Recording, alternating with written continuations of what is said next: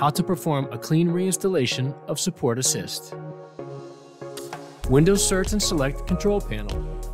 Once inside the Control Panel, click on Programs, and then under Programs and Features, select Uninstall a Program. Look for Dell Support Assist and click on it.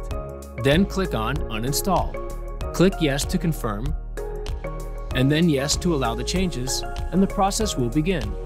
Afterwards, restart your computer. Now to get the latest download, click the link shown to access the Dell Support Assist download page. Click on the Download Now button, and then open the Support Assist installer file.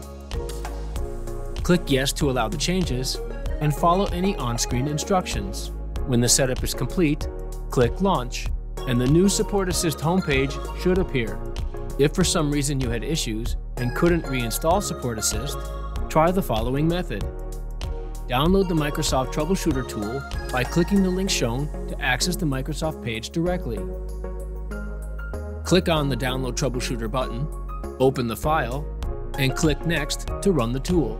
In the next window, select Uninstalling, and the application will produce a list of programs.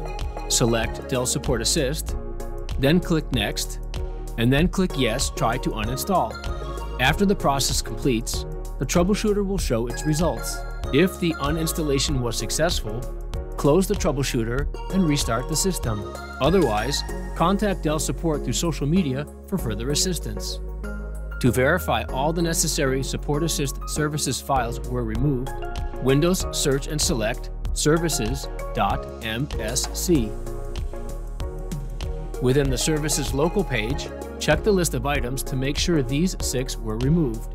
Dell Client Management Service, Dell Data Vault Collector, Dell Data Vault Processor, Dell Data Vault Service API, Dell Support Assist, and Dell Tech Hub. If any of these services were not removed, delete them using the Windows command prompt. Windows search CMD, and from the command prompt app options, select Run as Administrator and allow the changes. In the command prompt window, enter these four commands one by one. Hitting enter after typing each entry will delete it.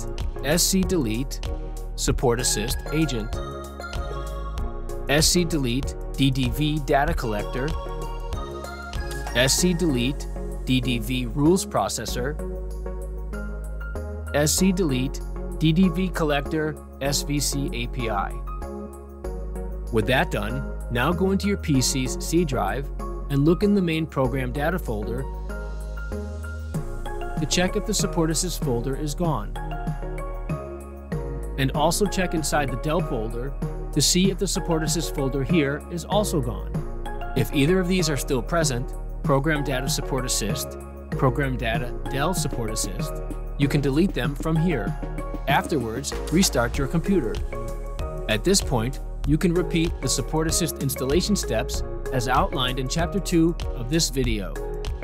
If you still need help or have any questions about this process, contact Dell Support through social media so we can further assist you. Subscribe to our YouTube channel where we have a wide variety of helpful tutorials. And be sure to check out the Dell Community Forum. Thanks for watching.